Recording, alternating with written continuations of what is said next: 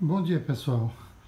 Essa é, esse é aquele tamarino que eu estou fazendo a experiência de só podar na lua crescente. A lua crescente foi dia 30 agora, tá? Então eu tô tá na época exatamente de eu, de eu podar novamente, tá? Eu queria só mostrar para vocês o antes aqui, não vou não vou gravar o vídeo de podando e tudo mais, vou só mostrar para mostrar o resultado aqui do meu experimento.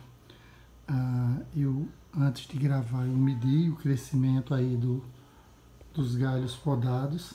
Eu tenho 14 centímetros de crescimento aqui, aqui na frente, esses galhos aqui da frente. Eu tenho 16 centímetros de crescimento nesse galho aqui lateral e eu tenho ah, 29 centímetros de crescimento aqui no ápice, certo? Aqui nesse, no período de um mês, né? Eu cortei no quarto dia da lua crescente ah, passada, tem até um vídeo, né? Eu mostro isso aí.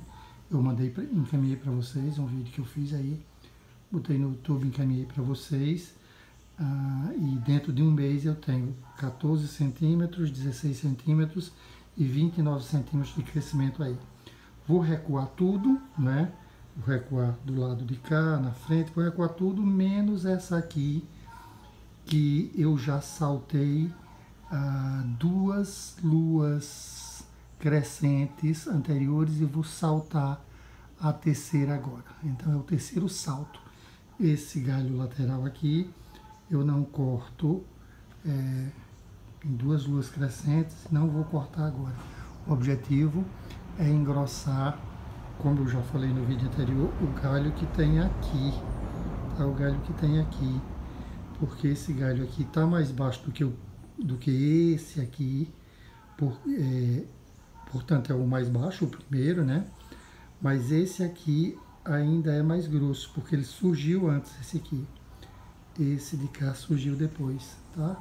Vou podar talvez depois eu tire só uma foto do resultado final, aí mostro para vocês. Um abraço, até logo.